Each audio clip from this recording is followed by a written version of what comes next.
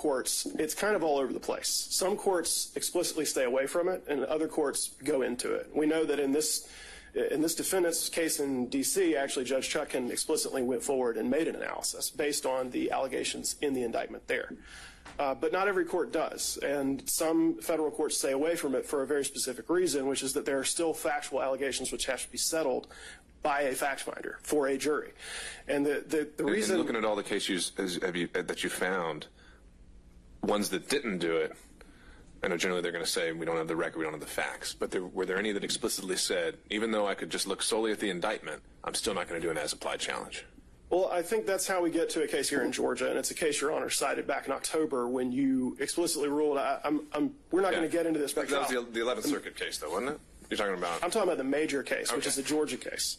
The Major case is where they say, okay, this is a pretrial, as applied First Amendment challenge. But essentially, what this boils down to is an argument about intent. That's what the defendant's really talking about. And when you look at what the defendant wants to argue about here today, it's just saying, well, I was talking, I was just a guy saying things. I was just advocating. I was just speaking my mind. And so all of this is protected, and therefore the entire thing has to go away. That, And- that and is I a think question. that's your, your your strong argument, strongest argument on if we're we're in the analysis of the as-applied challenge. I'm still just trying to get over and, and, and really understand the procedural element of it. Well, and, and that's what Major says, is that because that intent question has yet to be answered, and the jury is the person, who is the, the entity that answers that question, it's premature to consider this. It's, you can't say that the First Amendment has been applied, or that the as-applied challenge can succeed at this stage because there's still questions that have to be answered. But Major, I think it was like an overbreadth uh, on terroristic threats, right? It begins with overbreadth, but then it moves into an as-applied challenge. That's the last part of the Major. Did they actually say premature, or did they just say denied? they say that they cannot say that the it's unconstitutional under the First Amendment as applied to the defendant in that scenario because there are still intent questions. That So is, does that actually maybe suggest then that they did do an as-applied challenge? It's just very hard for a defendant to win that because all you have is the indictment. That is a way that you could interpret it. It would it would suggest that an as applied challenge cannot succeed under the First Amendment because criminal speech integral to criminal conduct is not protected. A well pleaded indictment is going to demonstrate that speech that is pled as part of a criminal charge is integral to criminal conduct. And so there is no there, there's nothing to decide if you're looking and you're cabined by the indictment. So we sort of have two routes here. Neither of them result in the grant of this of this motion. One says the court says this is premature. There's questions that have to be answered. Any First Amendment challenge has to happen after there's a factual record to look to. And the other says, okay, I can get to this today. It's not that I can't. I can, but there's nowhere to go because all of the speech is pled as integral to criminal conduct, and therefore it's not protected by the First Amendment. You could you could envision an indictment. I don't know if I don't remember if Alvarez was a post-trial or pre-trial thing, but you could envision an indictment where perhaps they've drafted it to solely target speech because of its falsity or, or something like that. So maybe there's a use for an as-applied challenge in that kind of a situation. That's a fair point, Your Honor. It's just not the situation here. And it's not going to be the situation in almost any case. That was a special case where, of course, you have a very unique statute that was punishing. That was, but that was really a facial challenge too, because it was it was saying like this is just punishing falsity for falsity's own sake. None of the charges in this case are about that. They are about falsity employed as part of, or, or statements employed as part of a, a, a pattern of criminal conduct in, in numerous ways. So there's nowhere to go. And so I, I think I think it requires dismissal or denial at this stage because you either can't reach it because there's more fact there's facts that have to be established, or the indictment establishes that none of this speech is protected by the First Amendment, and the inquiry immediately ends. All right. Uh, all right. So back to you, Mr. Sadow. Uh, let's let's move forward with the idea that we're making an as-applied challenge solely confined to the indictment. Uh, this isn't a facial challenge. You're not saying any of these statutes are on this face Correct. unconstitutional. Uh, and your argument is that this is this is core political speech. Correct. So some crimes can be achieved solely through speech, though. Terroristic threats, you know, Crime, solicitation. Why is that not what's happening here, as alleged? Well, I think it requires kind of a detailed analysis, so if I may. Sure. All right, so the first thing we have to decide is whether or not, and we're talking about President Trump, we're not talking about the actions of others. We have to look and see whether or not that which has been alleged as facts is in fact poor political speech, political discourse, protective speech at its zenith. I don't think there's any question that statements, comments, speech, expressive conduct that deals with campaigning or elections has always been found to be at the zenith of protected speech. Uh, what do we have here? We have election speech. So one must determine immediately whether that constitutes core political speech, and I suggest that it does. Now, does that make a difference ultimately? Yes, because the more core speech, the more it is protected, the less the government should be involved in restricting it. I don't think there's any real doubt about that. So then the question becomes is the mere fact that the state here represents that it is false or fraudulent under the statutes, is that enough? Now, from what I just heard, I think the state's position would be yes. All we have to do is say it's false, uh, it's integral to criminal conduct, it's fraud, and therefore it can't be unconstitutional as applied. I don't believe that that's what the law says.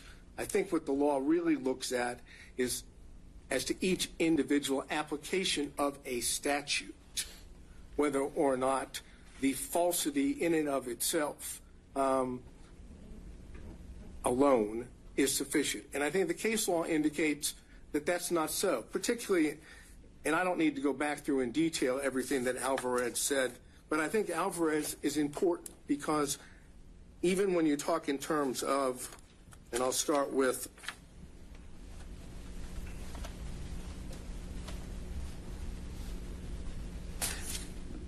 We're looking at the majority, what I would, I, actually, I guess it would be the plurality opinion, that by Judge Kennedy, but for purposes of interest to us, the Chief Justice and Justice Sotomayor agree. So now we're talking about two people still on the court. Um, and I'm looking specifically at page 723 in which the court goes on to say, were the court to hold that the interest in truthful discourse alone is sufficient to sustain a ban on speech, absent any evidence that the speech would be used to gain a material advantage, it would give government a broad censorial power unprecedented in this court's cases or in our constitutional tradition. So there, that's the beginning part of plurality saying the way to attack false speech or false political speech or core speech is with truth, which is precisely what was going on. We're talking about this time period without getting outside the indictment. You're talking about at the same time the allegations are being made, factual allegations in the indictment, you have others that are fighting that off. Government's position would be with tr- state's position with truth. Moving beyond Alvarez, that part of it,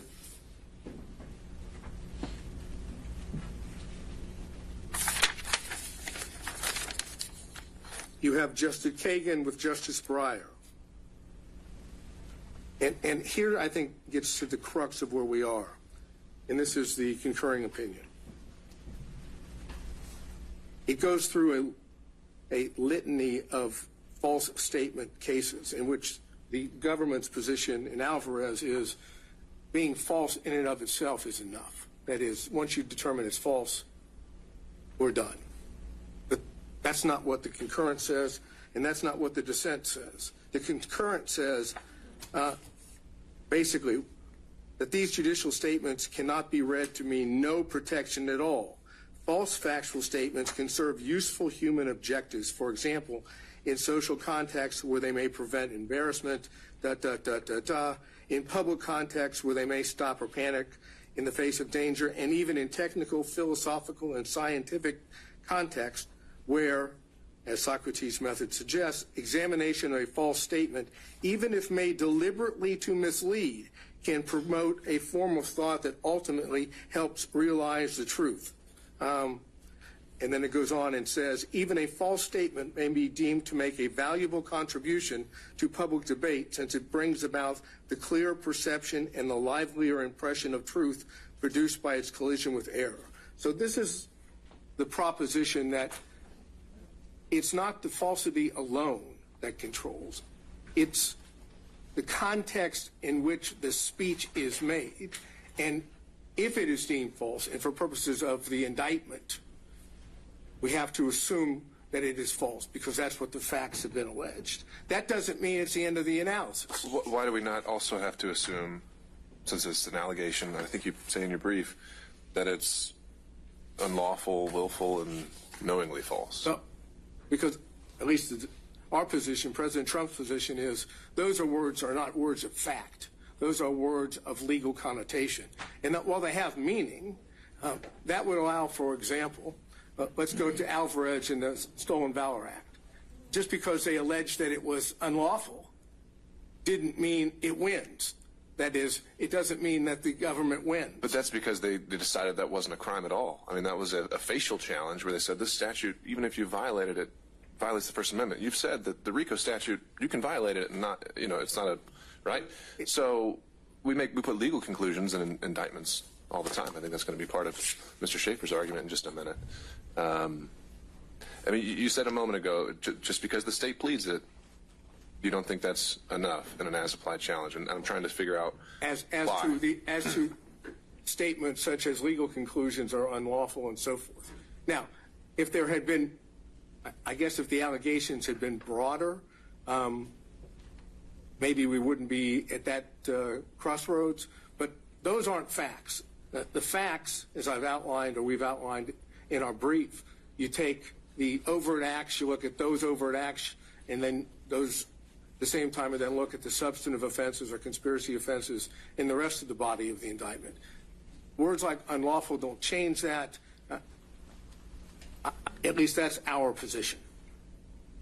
So now we're talking in terms, going back to Alvarez and the concurring opinion, you're talking in terms of falsity alone is not enough. There's stuff, there are situations, contexts which override just the falsity alone.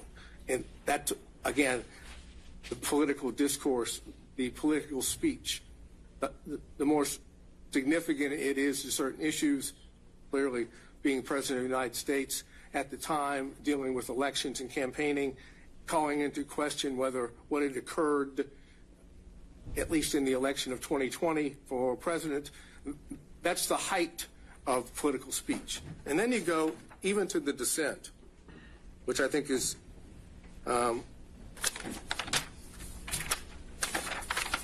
as important because now you have Alito and Thomas, again, members of the current court. And I go to that.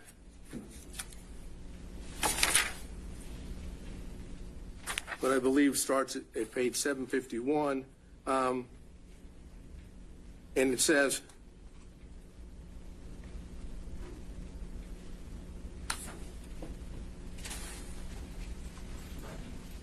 even where there is wide scholarly, and this is 752, even there, Um, excuse me, even where there is a wide scholarly consensus concerning a particular matter, the truth is served by allowing that consensus to be challenged without fear of reprisal. Today's accepted wisdom sometimes turns out to be mistaken. And in these contexts, even a false statement may be, se- may be deemed to make a valuable contribution to public debate since it brings about the clear perception and livelier impression of truth produced by its collision with error, citing U.S. Supreme Court. That's the essence of what we have right here. That's the facts that have been alleged.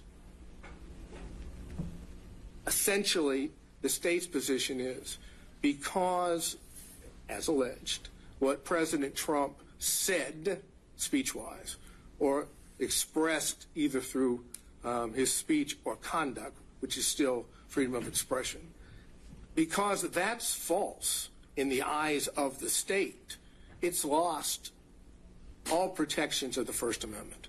And the concurring opinion and the dissenting opinion in Alvarez suggests just the opposite. If anything, under the circumstances, it needs more protection, not less protection. So, keeping that in mind, let, let's move to not RICO. Put RICO aside for a minute. Let's move instead to the conspiracy counts, which are counts 9, 11, 13, 15, 17, 19. Basically, what the state's position is on that, because it took this position previously in its filing on September 27, 2023, in response to that which was filed by Chesebro. And I'm aware, of course, of the court's order that dealt with Chesebro, and it didn't deal with the as applied. So I'm dealing, And, well, and more so in that one, as I go back and look at it, there was a much more kind of concerted effort to bring in facts outside of the indictment, right? And they started talking about, well, there was a transcript at the meeting, there was this, you know, so it, it, it, it didn't really seem to be a true as applied challenge, right? But, but as the court noted in its order, at that point, it didn't determine that it was ripe for a pretrial challenge. So I'm taking what Chesebro, what the state said as it applies now, because it says in that brief that it was both as to facial and as applied challenges. Essentially, what it says is, um, as to the, those counts, 9, 11, um, 13, 15, 17, 19, as to 9, 11, and 17, the mere fact that it alleges a fraud is enough. That is, that's what's on page 5 and page 6. Um, since each of those statutes prohibit conduct involving fraud, we don't go any further. And I'm suggesting that's wrong, that you must go further. You must look at the speech itself, the expressive conduct itself in connection with those specific statutes. That's what the as applied is. The fact that it's a fraudulent statute, now you want to look and see why, under the circumstances here, language speech of the president falls within that. And if you look at it in that sense, the mere fact that it's false is all that they have. They don't, there's not a finding that the speech itself, beyond the speech itself, is fraudulent. What the state wants to do is say, we have a goal, we have an objective here that we put forward steal the election in an unlawful fashion. I say, change that for a second to legitimate concern about the validity of the election. If that was the way you focused on it, which is a way to do it as applied, even with the facts, would what President Trump said on those counts be a protected speech? And the answer is it has to be. Because the only thing that makes it fraudulent is the state saying it's false. Take every one of those and say, okay, it's not false. It's protected. The only reason it becomes unprotected, in the state's opinion, is because they call it false. And that's what Alvarez doesn't allow. In and of itself, it cannot be simply the content based. It has to be contextual. And the contextual here is a political core value being addressed, elections and campaigning. And that holds true for the all of those that deal with the, the conspiracy. And then you deal with counts 29 and 39, which is the false statements charges. Now, it is clear that the Supreme Court would find that a statement made under 1001, 18 U.S.C. 1001, would constitute the appropriate, um, let's say, abridgment or non-protected uh, conduct or speech. But Georgia statute's a little different here, because we don't have a materiality element. It's the mere fact of falsity, which violates, according to Georgia law, counts 29 and 39. You don't have to do anything else but make a false statement, even if it is political discourse, even if it is in the heightened uh, context that I've suggested.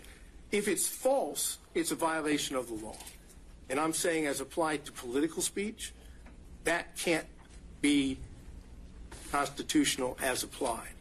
Remember, no materiality, simply the fact that he said it. So essentially, what the state's position on that would be it didn't have to be sent to um, anyone of consequence in the state agency. It just had to be said. Uh, indeed, if you look at, and, and the most, in, probably best example is count 39, that's a letter written after the election in September of 2021 from President Trump to um, Secretary of State, in which it has, according to that, one statement, and that constitutes, according to the state, falsity, but it's clearly political speech, and it's clearly being related to the activities and uh, the, the matters that of election and campaigning, even after the fact. It's still related just to that. So, looking at 29 and 39, I think you have a situation in which the falsity alone is all they have as applied here to political speech. It is unconstitutional as applied under the First Amendment. And then finally, you have count 27. Quick question on that. Had, had you, uh, I hadn't located one. Had you found a, anyone ever attempted a facial challenge on 161020? Yeah, in, in fact, I don't remember the name of the case, but it has been upheld, um, even though there was references to the fact that maybe materiality should be part of it. That's got to be the, yeah, Haley- it's the Haley case. That's Yeah, right. that- That's right. So, Okay. yes, facially, yes. But Haley, of course, didn't go to the extent of trying to Sure. determine as applied in a particular context. And it's, um, again, I don't to repeat what I just said, but here we're talking about the heightened value of core political speech. And then with 27, we're talking about the filing of a false document. Again, the only thing there that involves President Trump is an attestation uh, on the uh, complaint. Now, Mm. all it refers to in the indictment is complaint. But again, we're talking about the act, the falsity or the filing of false document is the falsity in the document itself. And I'm suggesting under the circumstances that and that alone wouldn't violate that statute as applied. So regardless of the facial challenges, the question becomes here, is the mere fact that the state says fraud or false statement enough to get by an as applied challenge? And our suggestion is it is not. Now let's go to RICO. And I think RICO is more difficult, to be honest with you, because we're talking about a much broader statute. At the same time, when you look at the allegations against President Trump, all of the allegations, all of the allegations involved expressive conduct or speech. We have false statements alleged in overt acts, and again, all of which are political core value, political discourse. You have false statements in overt acts 1, 5, 7, 8, 17, 93, 97, 108, 113, 133, 135, and 157. Purely, the only allegations there are falsity. There, there's no allegation beyond the fact that those statements are made. And I'm suggesting that, again, heightened political speech has to be looked at differently. When it comes to tweets, which is, at least the way the state sets it forth, is also political speech, uh, and here certainly by the then President of the United States, you have tweets in 22, 26, 27, 32, 75, 100, 101, 106, 114, 128, 138, and 139. So the majority of the overt acts involve false statements or tweets which are clearly political speech. How best to deal with that under the circumstances? To prosecute those under a broad RICO charge, supposedly with uh, contesting an election by, I guess, illegitimate speech or expressive conduct? Or is the way that we are set up as a country is that the First Amendment plays through this by others, by those that are complaining that it's false, proving it's false, bringing forth the truth. That's the essence of what Alvarez has said. That's the essence of what um, a case called Brown versus Hartlage, which is cited in Alvarez. It's 456 U.S. 45 at 61, a 1982 decision. All of those speak in terms of when you're dealing with that speech, that political speech, you're best to deal with it through the pushing forth a counter view of truth, not not prosecuting the speech maker or the person that is articulating his political views. Uh, here we've we've done just the opposite. Uh, we have decided that because those views were unpopular and in state's opinion false, we must prosecute them to stop them from happening again. Which is again the essence of why it's unconstitutional as applied, because that's not what the law says. Finally, the rest of the overt acts, either telephone calls or meetings or requests, no false statements. They're just acts, expressive acts. And they're in there as well. Those are political acts. And for the court's benefit, because I know there's a lot of overt acts, those are 9, 14, 19, 28, 30, 31, 40, 42, 43, 44, 90, 95, 112, uh, what was in the old indictment is 123, paragraph, uh, number two is now, I think, is 125. 130, 131, 140, and 156. There is nothing alleged factually against President Trump that is not political speech. So what this court has to decide is, is the state's position that fraud or false statements under these circumstances, which I suggest really is alone, is that enough um, to get it by an as-applied challenge? Our position is it's not. Is there another way to look at this? They're going to argue at the same time that it's integral to criminal conduct. But it's the speech that's being punished. That is the criminal conduct. If it's not the criminal conduct, there would never be an indictment for the RICO against President Trump or any of these other counts. Take out the political speech, no criminal charges. Political speech uh, disagreed with, basis for all charges. Uh, I, I think that is the best way for me to sum up where our position is. All right. Thank you, Mr. Sadow. All right, Mr. Wakeford or Mr. Floyd, if, if there are any points that you wanted to address or respond to. Um, I mean, well, I'll start. Maybe I'll start you off with this. It, it certainly seems that the primary case driving Mr. Sadow's argument would be Alvarez, and you know because that's a fractured kind of plurality opinion. I'm wondering if if you have any thoughts on just how much that can drive this. And I know the state back in December was also citing Alvarez as the primary case. I wonder if that's even the best one Well, for your arguments. I I think um, to address the first, I think, elephant in this courtroom um, is that a, uh, a Judge Chutkan in D.C. has evaluated all of these arguments uh, under Supreme Court precedent already. Um, so I would refer Your Honor to that court's analysis because I'm hardly going to uh, improve upon the findings of a federal judge. However, um, speaking specifically to Alvarez, the, the, it is a plurality opinion with several different concurring, several, several different opinions written by other justices. What they all agree on, though, is that Alvarez doesn't change the law that speech integral to criminal conduct is not protected under the First Amendment, and that that's not what Alvarez was about. It was about punishing falsity for its own sake. So the question is, is that what the state is doing here?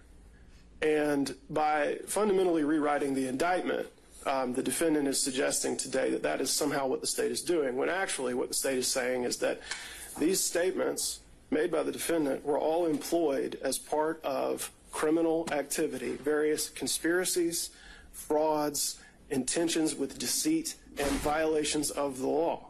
It's not just that they were false. It's not that the defendant has been hauled into a courtroom because the prosecution doesn't like what he said. He is free to say, to say, to make statements and to file lawsuits and to make other legitimate protests. What he is not allowed to do is employ his speech and his expression and his statements as part of a criminal conspiracy to violate Georgia's RICO statute, to impersonate public officers, to file false documents, and to, to make false statements to the government. That's what he's alleged to do. It's never, it's, he's not charged under 161020 because he told some lies. Um, although it is very interesting to hear counsel for, the, for Mr. Trump uh, tell us about the usefulness of lies. He's not being prosecuted for lying. He's being prosecuted for lying to the government, a state, uh, an act which is illegal because it does harm to the government. That's the reason that it's illegal. That's why it's different from the statute evaluated in Alvarez.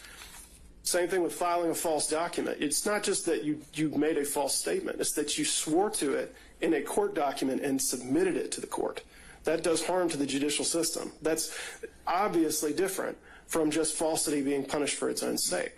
And that is what each and every charge in the indictment demonstrates is that these statements are part of criminal conduct that is larger than just the false statement on its own especially with the RICO charge, where what we see is that this is a, a, a, criminal organization whose members and associates engaged in various criminal activities, including but not limited to false statements and writings, impersonating a public officer, forgery, filing false documents, influencing witnesses, computer theft, computer trespass, and on and on and on.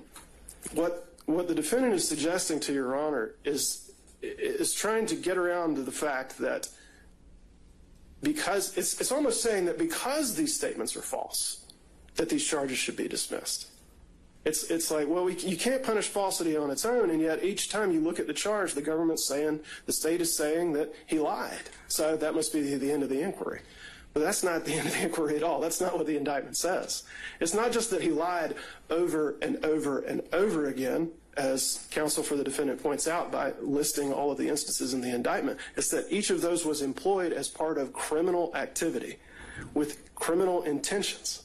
And we finally get to a place where he's, it, it's uh, where I knew we would end up, which is saying, I believe Your Honor was requested to think about it as not as lies, but as legitimate concern about election issues.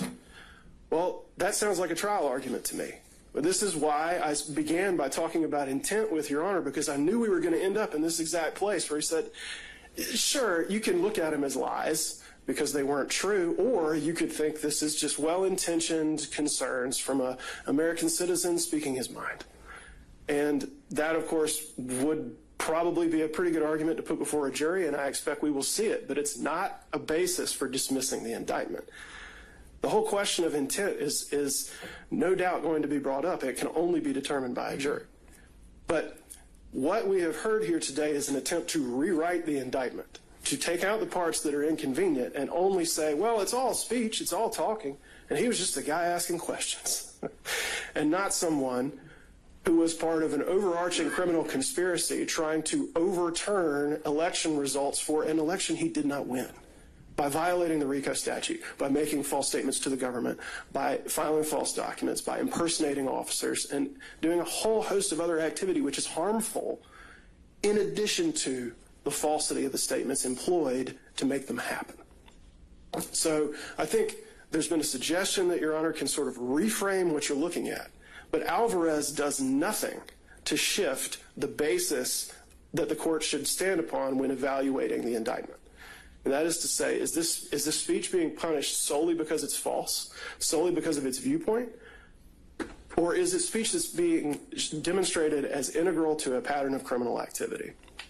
And finally, the, the, fact that it speaks to political concerns or core political speech, and this is something that the, the court in D.C. Uh, thoroughly addressed, does not change the fact that it can be employed as part of criminal conduct. The mere fact that you're talking about issues of public concern or core, core political speech, which may be completely fine and protected in certain, in most contexts, does not mean that you cannot be indicted if you use that kind of speech to pursue illegal activities. That's that's the whole nature of the question. So it's very circular, and, and I would direct Your Honor to page six to seven of, of the post hearing brief filed by Defendant Trump, which says the speech integral to criminal conduct exception of the First Amendment does not apply here because all the charged conduct constitutes First Amendment protected speech. That is a very neat circle. The First Amendment protects us because all the speech is protected by the First Amendment. And in the end, no matter how much we hear about the, uh, obviously, the noble protections afforded by the First Amendment, all of this is an effort to get Your Honor not to look at the basic fact that this speech, this expression, all this activity is employed as part of a pattern of criminal conduct in a host of ways. And because Your Honor is bound by the indictment and has to look at the indictment, and can't look beyond it, if, we're going to get into this at this stage, then there's nowhere to go, as I said at the beginning, because this is all alleged as part of a pattern of criminal conduct and not protected by the First Amendment. Any argument to the other otherwise is just to try to pretend like that's not true. All right. Thank you, Mr. Wakeford. Thank you, Your Honor. Your Honor, may I add one point briefly? Sure. Thank you. Wait a second, we're being doubled up on here? This is not a trial. I think you can handle it, Mr. Sadow. And it is, I'm just going to be on one specific point, not duplicate the argument made before. Um, I, I believe defendant Trump fundamentally misunderstands the role of an overt act in a conspiracy case. As we've discussed many times previously, this is a RICO conspiracy case. And so we heard Mr. Sadow discuss various overt acts and say, well, but this is just a tweet, this is just a phone call, this is just X. The unspoken, underlying, and incorrect premise then is that every overt act must be a crime. As we've discussed a number of times, and as the state has set forth extensively in multiple briefs, that's not true. Uh, the purpose of an overt act is to show that the conspiracy is in operation. It is not a separate crime. It doesn't have to satisfy the elements. It doesn't have to be pled with that level of detail, as Your Honor acknowledged in an order I think that's all of two weeks old. Um, and so to say we can't mention this particular act or this particular conduct because it's not a crime or it's protected by the First Amendment, the answer to that is actually so what? Because it could be first it could be legal conduct it could be first amendment protected conduct. That also shows there's a conspiracy in operation. And that's as long as it serves that purpose it's fine. And so overt acts should not be examined by a standard that has no application to them. They are not separate freestanding offenses. Um, and there is federal case law that, and if need be, we can cite it to you, that has said an overt act can involve First Amendment activity. Its purpose is not to be something that is separately charged here, separately subject to a separate sentence. Its purpose is to show that there is a conspiracy and it's an operation. Um, Georgia requires, Georgia RICO requires one overt act by any one defendant. So, of course, the RICO would stand if anything, any of the 161 overt acts uh, alleged constituted an overt act. It would only take one. It doesn't take any by Mr. Trump. Um, but the point is, we have an abundance of them by Mr. Trump. And for purposes of the RICO statute and the manner in which it functions, it doesn't matter whether that's First Amendment conduct or not. I mean, we've, my colleague has fully explained why much of this conduct is not shielded under any circumstance by the First Amendment, and I don't mean to contradict that in any respect. But it's important not to lose sight of the function the Overt Act plays, the role it plays in a conspiracy case here, because it is not the role being suggested by Defendant Trump. All right. Thank you, Mr. Floyd. All right, Mr. Sadow, I'll give you a couple minutes. Uh, final word. Thank you, sir. If I heard what Mr. Floyd just said, that if everything President Trump said was assumed true and included in the RICO indictment, and therefore now we're talking about true political speech, not alleged false, he could still be prosecuted for the violation of RICO. But the overt acts as alleged, let's say even the overt acts um, ran afoul of the First Amendment. He's saying that wouldn't be fatal to count one. Because at that point, if if they if There the could be some other thing they prove that's not alleged as an overt act, okay, that that may as I understand it. as as I understood it as well.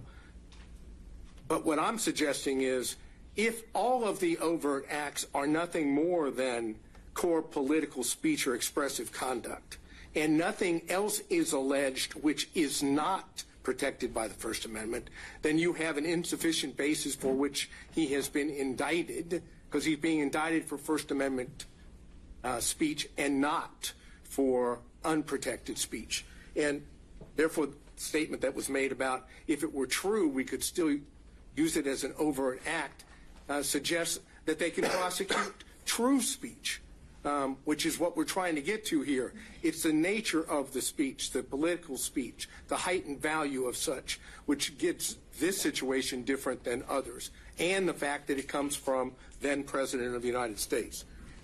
Uh, going back to what was said in addition by the state, what the state claims is criminal here is lying to the government. That's what it said.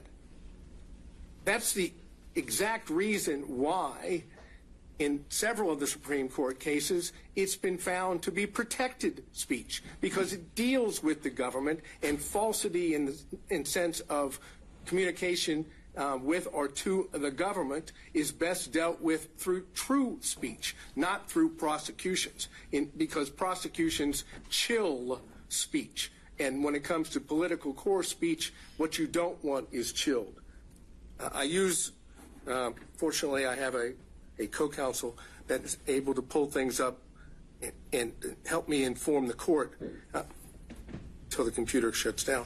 Uh, and looking at what Haley says, just to give you an idea of how the Georgia court, the Supreme Court, might look at this. There's a quote from Haley, and it says, while there is no constitutional value in false statements of fact, such erroneous statements are nevertheless inevitable in free debate, and punishment of error runs the risk of inducing a cautious and restrictive exercise of the constitutionally guaranteed freedoms of speech and press. Accordingly, the First Amendment requires that we protect some falsehood in order to protect speech that matters. And I think that's what we're talking about here. To end this, and again, we're focusing on um, President Trump's conduct at, at the time that he, in fact, is the head of the executive branch. Uh, there is references to this in Brown v. Hartlage, and I cited that earlier.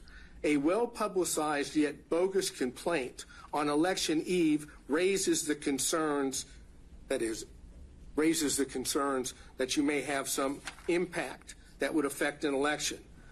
Uh, but the preferred First Amendment remedy of more speech, not enforced silence, has special force. Uh, underlying our dependence upon more speech is the presupposition the right conclusions are more likely to be gathered out of a multitude of tongues than through any kind of authoritative selection. To many, this is and always will be folly, but we have staked upon it all. And for speech concerning public affairs is more than self-oppression, expression. It is the essence of self-government, and that comes from Garrison v. Louisiana, which is cited also in Alvarez. Bottom line here is this. But for protected First Amendment speech, President Trump would not be charged in RICO or the other counts. Take out the protected speech, and you don't have an underlying basis for which to charge him. And since that violates the Constitution as applied to the charges here and his speech here and his position here, this is ripe for a constitutional challenge. One step further. If it's not ripe now and we get into intent, when does the court determine that? Do you determine that after we have a trial? I think it would be the directed verdict stage. Well, right? but would it? That's all- a with all- sufficiency of evidence. With all inferences, yeah, in favor of the That's a, state. that's a whole question. I mean, do we go through the whole trial? God forbid there should be a conviction, and then we go back to try and determine as applied? Uh, I'm suggesting the reason it's right now, and the reason why we don't even get to a trial, is because it's unconstitutional to force an accused, be it the President of the United States, former President, or anyone else, to stand trial on protected speech.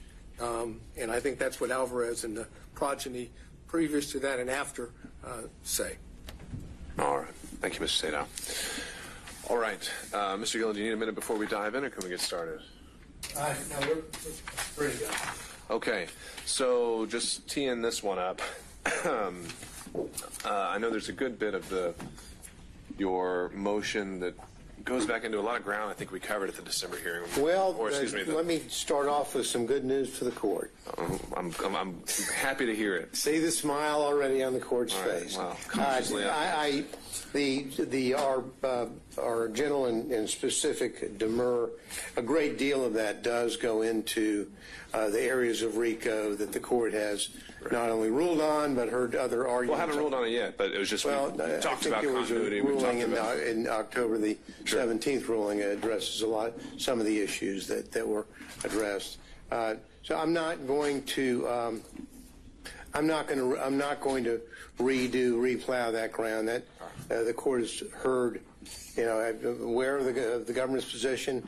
I know that probably ruined uh, Mr. Floyd's day by not allowing him to uh, get up and go back over uh, his in his uh, RICO expertise. I'm not going to do that. What I'd like to do though today is uh, is to move forward to some areas that I do think needs to be. And the question really, when the court said, "Do we want to have oral arguments today or not?"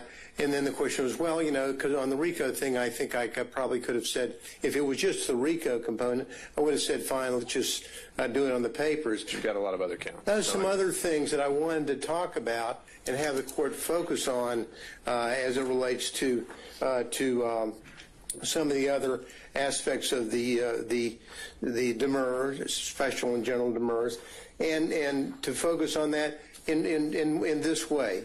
Number one, I want to talk a little bit about some of the counts impersonating public officers. I want to talk about the forgery, the false statements, uh, briefly, and talk about that, but also uh, a, to, to, to raise this issue with the court. Now, uh, we we argued that in our in our uh, uh, uh, pleadings, but the defendant still filed uh, additional motions on these very issues and did a very, very good job in a lot of his arguments. We know that the court granted the stay for uh, defendant Still because he's of the state legislature, and thus, uh, you know, had that not happened, Mr. Beaver would be here with me talking about these issues. I think that the Still pleading uh, addressed a lot of the issues that were raised in the in the response by the by the state, and so uh, with uh, with uh, the you know forgiveness, hopefully, of my dear friend Mr. Beaver, uh, I'm going to mention some of the things that they mentioned, but I would hope. Uh, on on on behalf of of defendants, Still the court may listen to what I say, but also prior to ruling on these particular issues, might uh, afford defendants Still the opportunity to have his own oral argument day, so that he could more uh, fully address these issues, and that's. Uh, and I would appreciate uh, that on on his behalf. When we talk, uh, let's let's get on to it. Uh, we're talking about impersonating a public officer charge, and we talk about that. When we talked about that, we talked about whether or not uh, you know uh, the the the charge of public officer, right? uh, impersonating a public officer charge, count eight. Uh, we say that's subject to dismissal. Uh, you know, in that pertinent part, it says on October the 14th, on or about December 2022, unlawfully, falsely held themselves out as the duly elected and qualified presidential electors from the state of Georgia, public officers with the intent uh, to mislead. Now, what we did in our in our pleading is we said, well, uh, that has is defective because uh, under the statute uh, 2151, uh, as public officer, there is no reference there to uh, presidential electors as not uh, as being public officers, and therefore uh, it should that that should carry the day for us. The state's response uh, says, well. Not so fast, Mr. Gillen. Uh, we've got uh, cases here that talk about situations which, in which uh, uh, 2151 doesn't carry the day and isn't Well, not even cases. I mean, the statute itself. Right. I mean, you're, you're pulling that from the ethics statute. Exactly. So I'm not really sure why I didn't look at that. I mean, So- public so- officers all throughout the code, and it's just kind of one of those hanging kind of question marks, I suppose. So what the state does, and you know, and I and, and I can see the court's point. I'm not going to argue that. Uh, what I am going to say is that what they say, they cite cases where there are where are there individuals uh, that are impersonating agents, you know, police officers, peace officers, uh, or agents for Metro Atlanta uh, Human Trafficking Task Force. Okay, that falls into that category. Trafficking uh, uh, in, uh, in the task force or a federal agent. Those are things that the state responds to. I think that, that in the Still uh, motion, it covers some of the concerns the court may have regarding this issue of public officer and why we think that we should prevail on this as well. Again, hoping Mr. Beaver has his day. Well, well, do me the favor. Actually, I've kind of put the Still motions in a box, and I haven't opened it yet. So make those arguments for me. Well, I'm going to, right. uh, but not as not as articulately, I'm sure, as, as Tom would, could do it. But I'll give you the I'll give you the flavor. The flavor uh, of it is that in the Still motion, which we adopted uh, uh, as uh, after it was filed, it talks about how other uh, other uh, uh, case law in Georgia, when it talks about first of all, 1610-23 doesn't define public officer. So we start from that pro, that so we've got that out there. Doesn't not defining the public officer. Now, but but the Still pleading does say that the the issue of what who is and is not a public officer is addressed in other in other uh, contexts in Georgia uh, uh, law usually in the uh, quo uh, warranto proceedings where somebody is trying to find out the legitimacy of somebody having or holding a particular office. And in that context, uh, there are cases citing in, uh, in the in the Still pleading uh, that uh, address this very matter. they cite Brown v. Scott and as a, as a case in which the the Brown v. Scott case uh, you know, whether or not an individual has designation or title given to him by law or exercises functions concerning the public assigned to him by the law, they cite Brown. That doesn't, the, the inquiry doesn't really end there. Uh, the, the, the Georgia Supreme Court has termed, noted the term public officer involves the idea of tenure, duration, fees, emoluments, and powers, as well as that of duty. And so that's uh, McDuffie v. Uh, and that uh, has to do really with grand jurors. So when someone says, well, is a grand juror a, a public officer? And uh, the court, uh, you know, breaks down an analysis talking about that, saying, not really, because grand, uh, grand jurors may only meet for a few days. you know, they're not, they're not essentially uh, you know, uh, um, they're not there for some sort of duration or tenure. Uh, they don't take the same oath of office as prescribed for uh, public officers, and they lack the element of tenure and duration which must exist to qualify as a public officer. Well, so how would that apply again to like a purely fictional task force? Well, I mean, let's forget the purely fictional task force. It would uh, let's have it that that case law from the, from our Supreme Court, how it applies uh, to our case, and how it applies to our case is the presidential electors uh, are not people who have uh, uh lengthy tenure, or duration, which it must exist. Frankly, their job is to meet for one day. No, I, I, I, I see your, your framework there, but if the framework is actually in this whereas the Metro Atlanta Human, Human Trafficking Force it doesn't even exist. Well, it doesn't. We but can't someone is do this pretending to analysis of be tenure. someone is pretending to be an agent.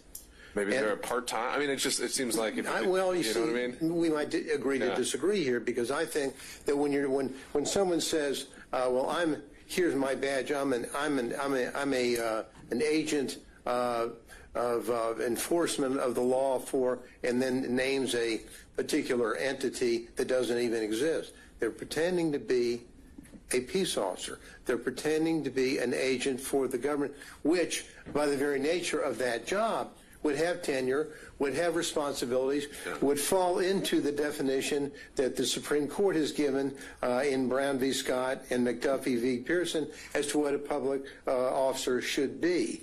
And so, uh, in that context, uh, we have, you know, uh, we have, uh, and same thing actually it, it, popped up again on the issue of uh, of uh, in Morris v. Peters, another case, Supreme Court case dealing with whether or not someone is a public officer.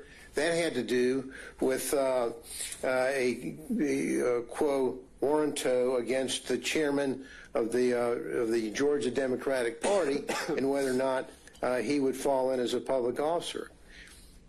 Bottom lining it, uh, like in, in, in that case, and which uh, found that he was not, like, the, like grand jurors and public official, party officials, presidential electors are not public officials under Georgia law, especially for purposes of 161023. Uh, their jobs, services are temporary, like the grand juries. Uh, they, uh, they, their position really only arises once every four years. Is limited to a single meeting uh, on, a, on a single day. So it lacks that element of tenure and duration uh, which must exist. So uh, you know it, it's you know it's kind of like back to the the political case, Morris v. Peters case, which dealt with the state party uh, political uh, uh, chairman, uh, nominated in accordance with the rules of their party. But just because the fact that they were nominated by the rules of their party doesn't make them a public official. Uh, so, and, and like grand jurors, presidential electors don't receive, they're not receiving their salaries for their service. So, all of that, Your Honor, tells us uh, that that uh, the you know this particular uh, count uh, is flawed for the for the very purpose of these uh, these electors cannot be under Georgia law uh, you know public officers and so uh, you know we, we although we agree with the court's initial position regarding regarding the limitation on on the definition of public officer in our pleading, uh, good old Tom Beaver and the Still pleading has come forward to uh, rescue us on that point. And so if you if you look at what they did, and hopefully Tom will do a better job of articulating those points, in their pleading they talk about specifically some some other cases that uh, get into either in Texas and, and and I think Utah as well that deal more specifically with this. But for the purposes of argument today, I think that we've sort of got the drift on, on what what I think uh, uh, is uh, is happening on the impersonation of public officers. They're not public officers, and clearly under the direction we believe of the of our Supreme Court, they could not be so judged. Now, uh, again, I'm not going to spend a whole lot of time up here with the court. Uh, but I do want to touch on a few of the other components of our of our pleading, uh, the forgery counts. Now, the you know we indicated in those counts 10 and 16 are sufficient to dismissal.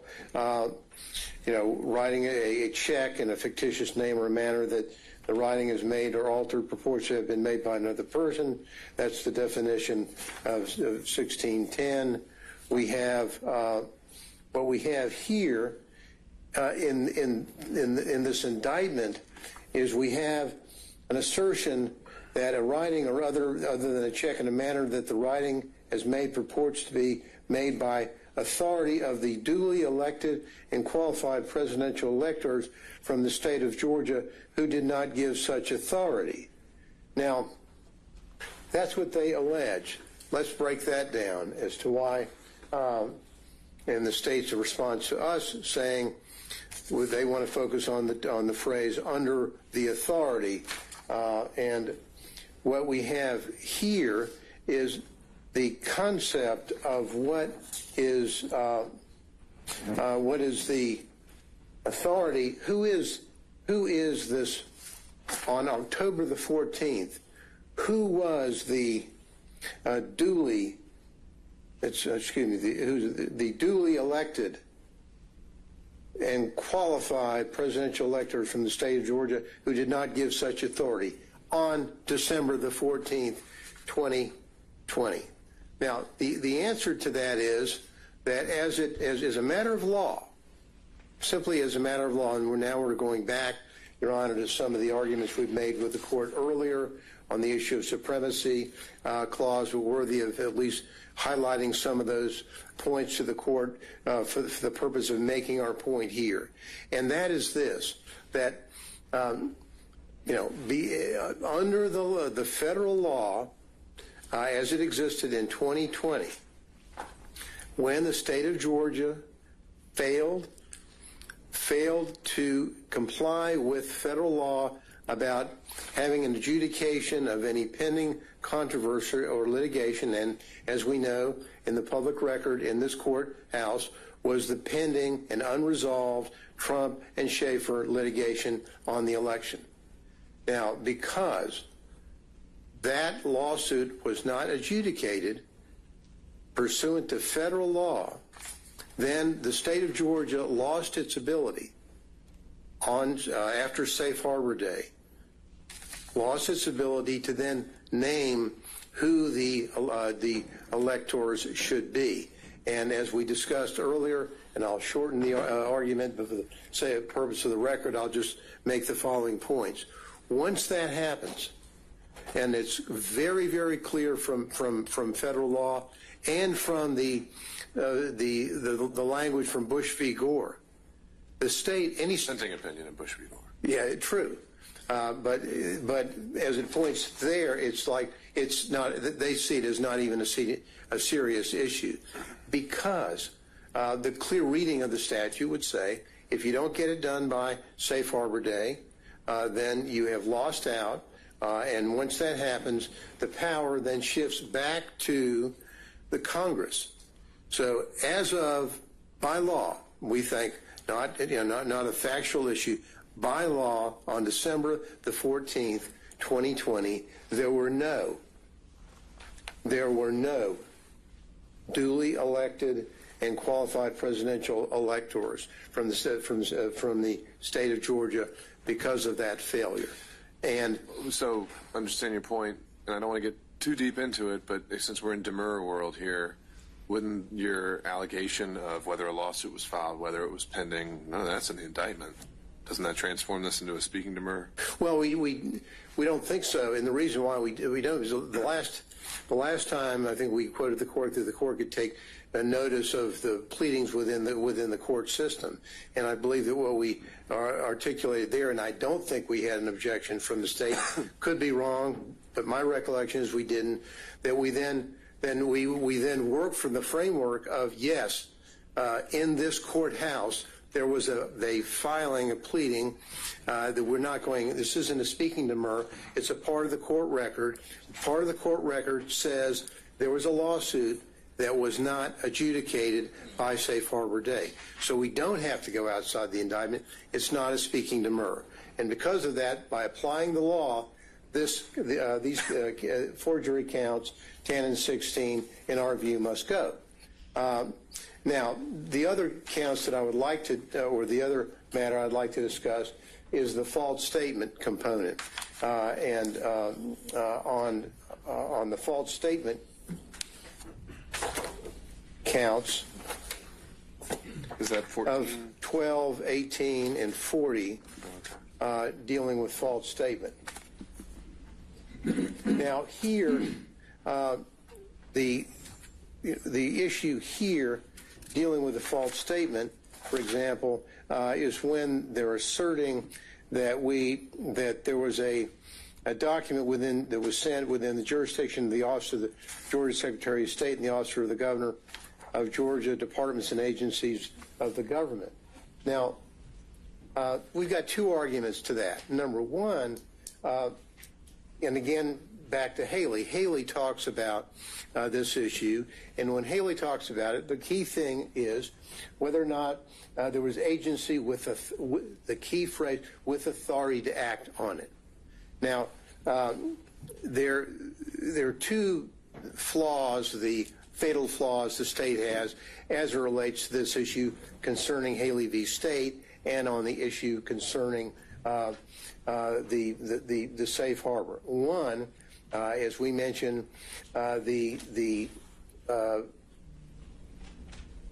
at that time there was nothing for the state of Georgia to act upon. Uh, they merely received the information. It was merely a well, sort of a, a um, ministerial act, if you would.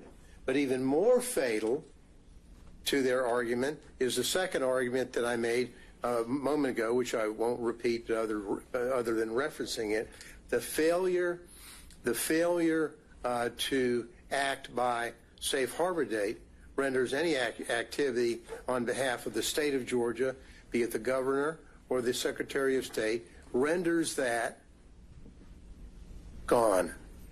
Because now it's all gone back up to Washington, to Congress to deal with that.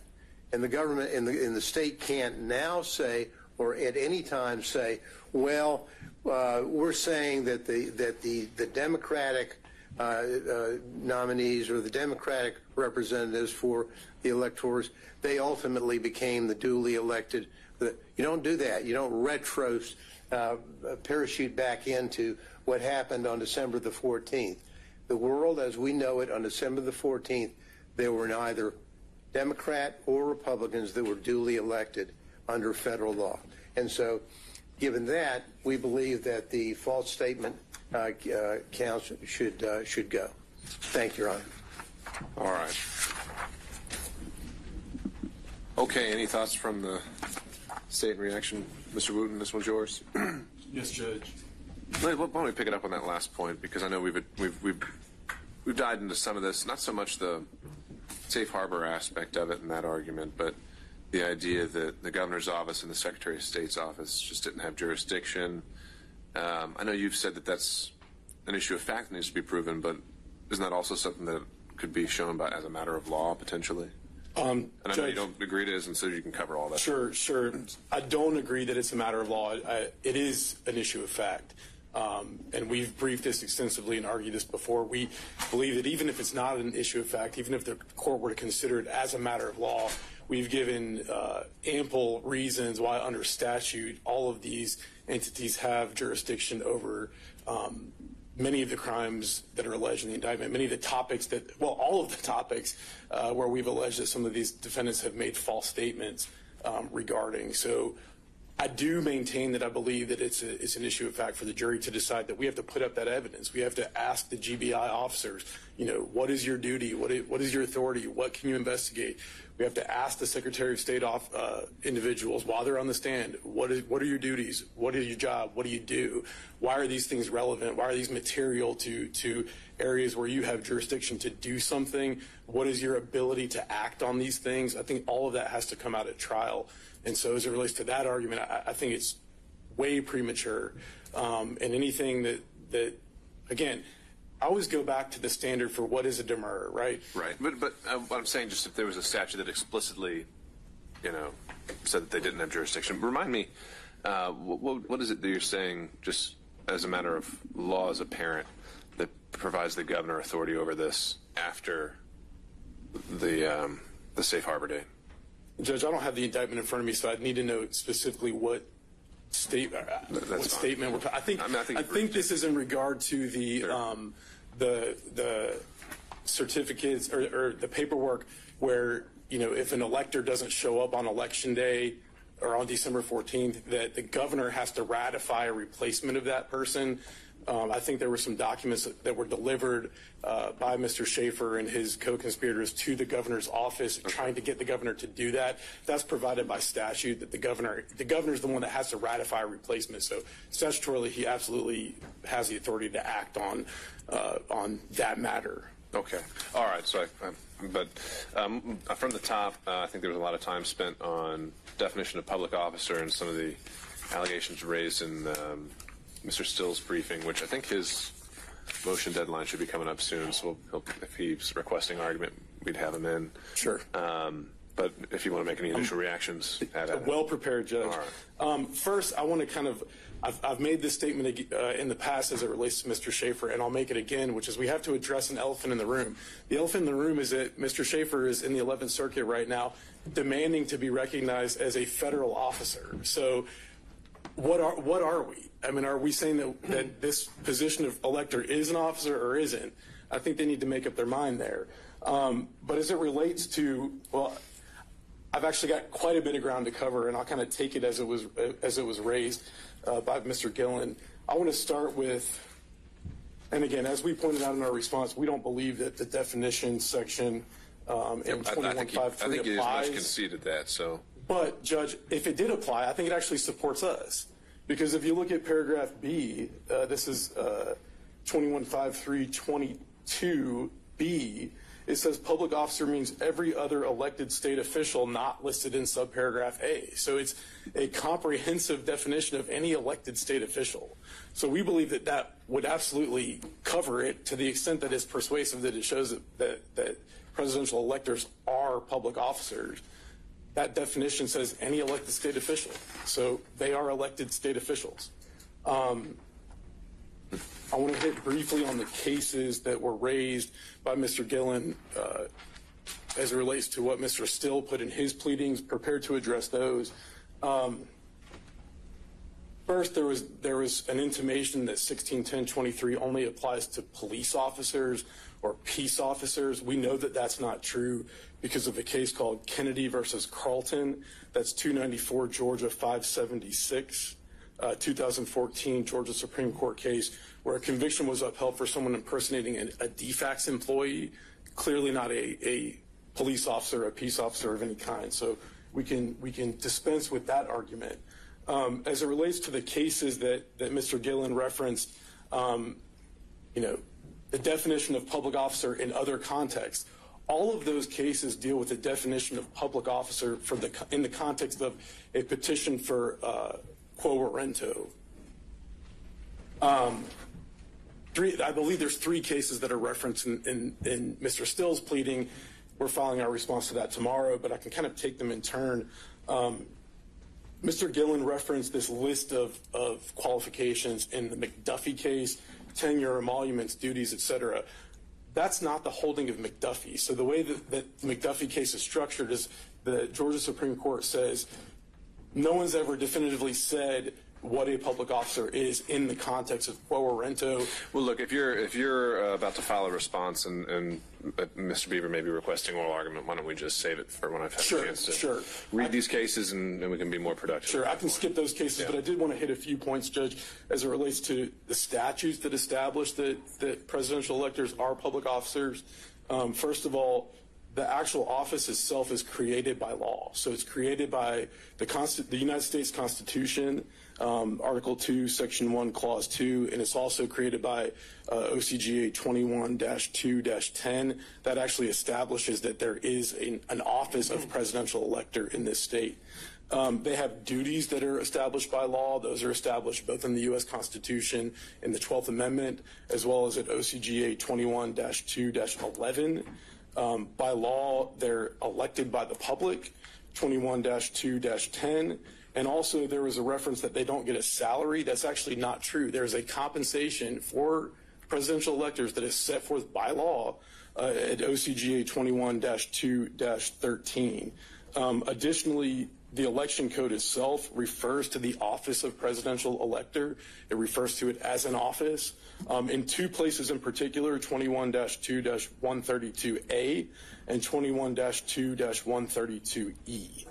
Um, and again, we we again rely on those cases that Mr. Gillen discussed. Uh, Garrison versus the state, uh, 276 Georgia App 2, 243 2005 case where someone was convicted for impersonating uh, a federal agent, an un, unspecified federal agent, and that conviction was upheld by the Georgia Court of Appeals.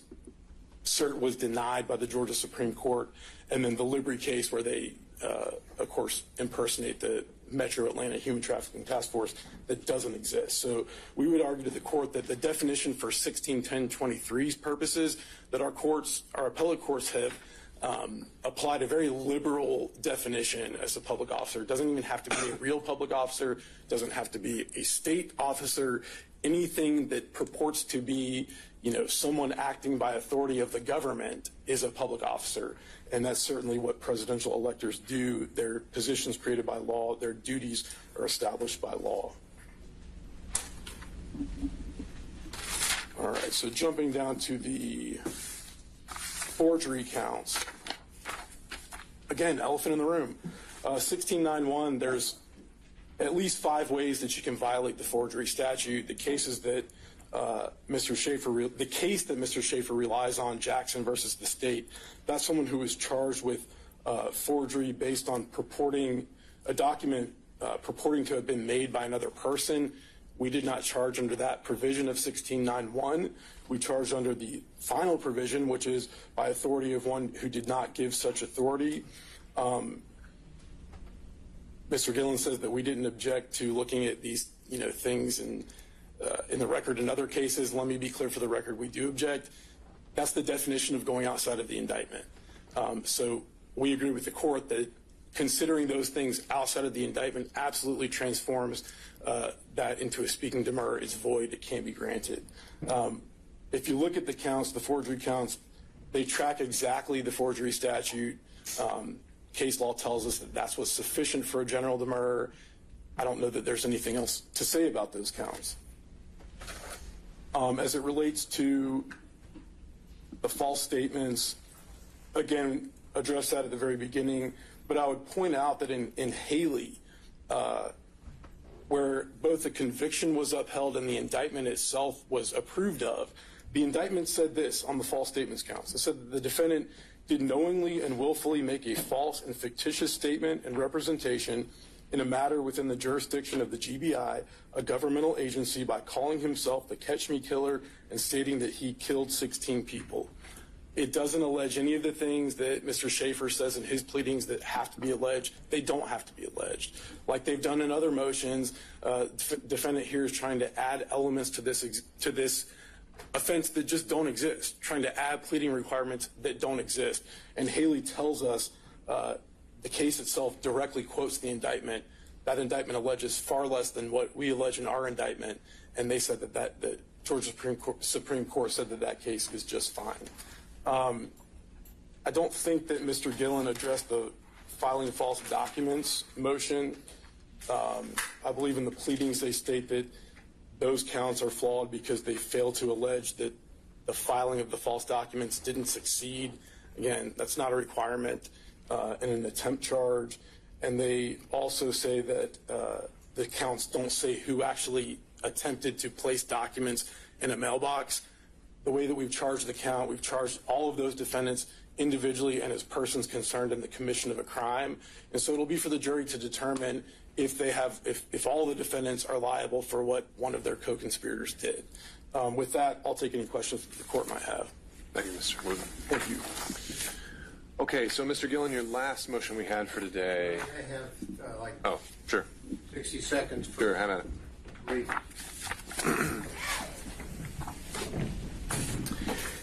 The state did not and cannot answer the direct question about uh, a violation of the safe harbor rule, why that would allow uh, that uh, situation to give the governor or the secretary of state any authority to do anything. That uh, is, comes in under several of the arguments that we've made.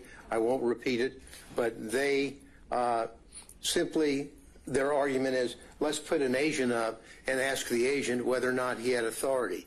No. By law, by federal law, they did not have the authority. It's not whether some GBI agent thinks that he can come in here and tell the jury, pay no attention to federal law, pay no attention uh, to to the dissenting opinion in Bush v. Gore, pay no attention to that. I'm a GBI agent. I say we can do it. That's wrong. Uh, they lose there because the law is very, very, very clear, and uh, and we can go back and uh, we'll both the the state and I know the Shafer team will go back to look at our argument that we made to the court. When my recollection could be wrong, uh, I don't, I don't, I don't think so. We'll see, but my recollection was because the pleading was a part of the court system that we had a, a, citation which permitted the court to take that into consideration as part of the record and thus not going outside of the record for speaking to demur. I could be wrong, but we'll we'll get that uh, to you uh, quickly because uh, that you know, you know, and, and they they latch onto that to say, pay no attention to the reality of what happened in this courthouse, in this court, in the court filings, which destroys their argument.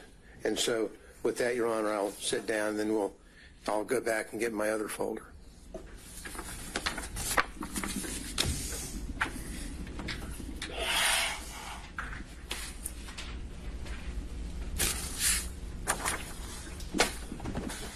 So, on your last motion here, um, kind of as we were with the First Amendment issue, I think we need to figure out where we are procedurally. you know, federally, it sounds like, you know, this would be a pretty common motion. It'd be a surplusage motion. Georgia, it's not quite as clear for us. So, excuse me. Um, where, let's start with just the authority to kind of take a scalpel to an indictment and cut out things we don't like. Well, I, I mean, Your Honor, the you know, we we talk about there's two two components to this motion. One, there's the strike surplusage, and then there's a dismissal that we asked for, which is kind of also a component of the other. Now, uh, you know, we cite the uh, state v. Uh, Corin on the issue of being able to, uh, you know, the, the allegation, the indictment is not wholly unnecessary to constitute an offense as mere su- surplusage. We, we think. Right. w- That's- we- when we read the surplusage opinions, we're talking about, you know, a miscited code section or um, a wrong date or something like that. So I, I, I don't know. I don't think that's what you're correct. no, no, I, I guess this is where I'm. It's more just a legal conclusion, right? Let me, yeah, legal, con- a legal conclusion, number one, but it's even more than that. It's, it's this. Uh, when, when they continually, in their pleadings, in the indictment, in their pleadings, in their, in their uh, ex, uh, extrajudicial comments that they make, they have bombarded uh, the defendants, the electors in this case, with the concept of and the phrase of fake electors. Now that that is not, uh, you know, that that is a description, a conclusion, and a and a pejorative description. it's it's a legal conclusion you very much disagree with. It's the core of your defense. Uh, I well, I, I I think it's not only a legal uh, conclusion, but it's also something that be, should be stricken because it is a just a pejorative statement. I'm not saying I'm saying you know uh, I can I can call you something really nasty in an indictment, and it doesn't necessarily have to be a legal conclusion about your violation of, of a particular law. And so that's what we have here, and we, and we have this permeating this case. Well, I'm just trying to, again, based on what we've seen and is allowable in Georgia, uh, let's just make it simpler. If, if, if in a murder indictment someone's alleged to have acted with malice aforethought, that's a legal conclusion. Well, that's right. And it's something that the defendant may really have an issue with. But we don't strike it. We just go forward and we go to trial. different world, different cases, not the point that I'm trying to make. What I'm trying to make is, uh, you know, and you put in malice aforethought because you, you put that in there to It's define the element, sure. terms. What, what about this one? There's one I remember when we talk about nicknames and aliases. And I remember there's one in Georgia from the 90s. They put in an alias of Stomper. And he had beat the defendant to death. Well, And the Supreme Court said, that's okay. you know why? Because they probably proved that there was an alias of that guy called Stomper. That's different than the At that's trial.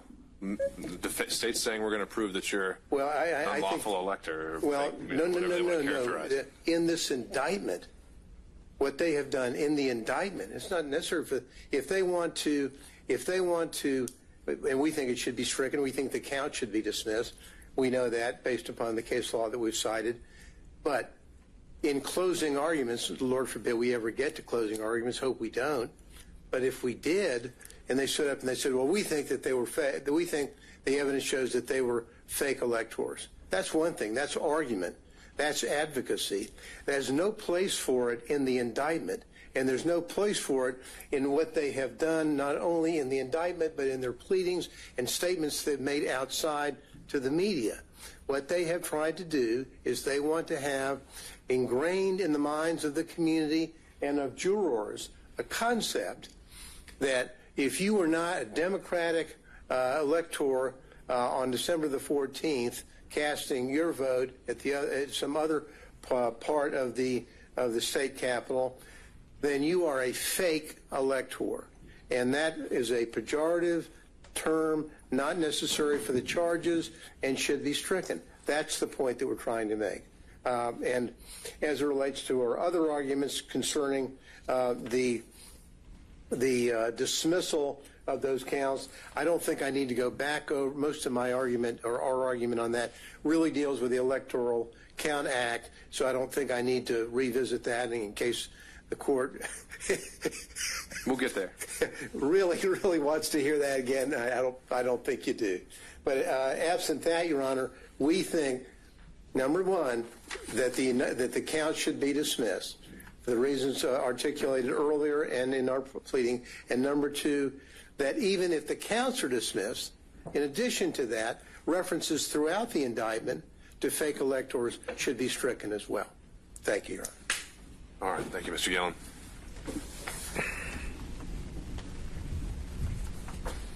Judge, I'll be brief.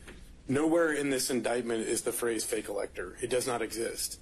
Literally not in the indictment. So I'm not really sure what we're talking about removing something from the indictment that's not there. Um, as the court pointed out, and, and I struggle with this motion, and I'm not going to say much because we're primarily relying on our response, but an indictment is itself a legal conclusion. Every allegation in an indictment is a legal conclusion. That's what an allegation is. And so if indictments aren't allowed to have legal conclusions, then I guess we aren't allowed to have indictments anymore. Um, Judge, I think what the defense's strategy is here, and I know it's their strategy because they asked for it in the motion. They say, Judge, you should strike this language from these counts because we don't like it, it's not fair, it's pejorative, whatever reason. And now that you've stricken it, the counts don't charge a crime anymore, so you should dismiss them because they don't charge a crime anymore. That's nonsensical. Um, we cite in our briefs uh, opinions where the court says, the appellate court said you literally can't do that. If something's essential to the charge, if it's essential to to pleading an, an essential element of the charge, you can't strike it. It's not subject to being stricken.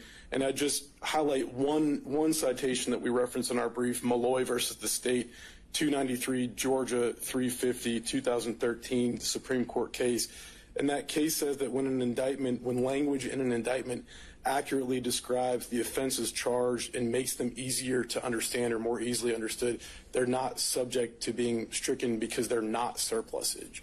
And that uh, in making that in, in, in analyzing language in an indictment, you know, in this context, Malloy also says that, it, that the language is to be interpreted liberally in favor of the state. And so, uh, with that, again, we rely on our pleadings. The phrase fake elector does not exist in this indictment. Uh, take any questions that the court may have, but otherwise, uh, nothing further. Uh, maybe one. You know, I've seen a line of cases talking about whether defects, you know, can be stricken, and a lot of that depended on whether they're material or non-material. Is it safe to say that these phrases, the ones that are, are highlighted here, lawful elector votes, false electoral college votes, and duly elected and qualified presidential electors, would you say those are material phrases for each of the charges they appear in? So I think that's a that's a great question, and I think there's kind of a superficial answer and then maybe a more in-depth answer. My superficial answer is yes, they're material um, in the sense that they make the charges more easily understood. They're accurate to describe the charges. Um, I, I am familiar with that line of cases, and it's a little bit unclear in the cases whether material means that or whether material means that, um, you know, if you strike the, something from the indictment that the count falls apart. So it, it, I'm not clear. What I know is in this context, I don't think it matters because what's being challenged, I, I think it's I think that it's approved of by our appellate decision. If, if you've happened to gone, go down that road, though, uh, and we take the position that material means it, it can still survive uh, general demur. Um, any thoughts there? Judge, again, turning back to Malloy, the, the, the holding in Malloy is that as long as the the language in an indictment, even if it's not essential to an essential element, as long as it's accurate, it describes the offense's charge, and it makes it more easy to understand, it's simply not surplusage. If it's not get you there. surplusage, it's not subject being stricken. But do we think these phrases are material and, and meaning they're necessary to survive a general demur?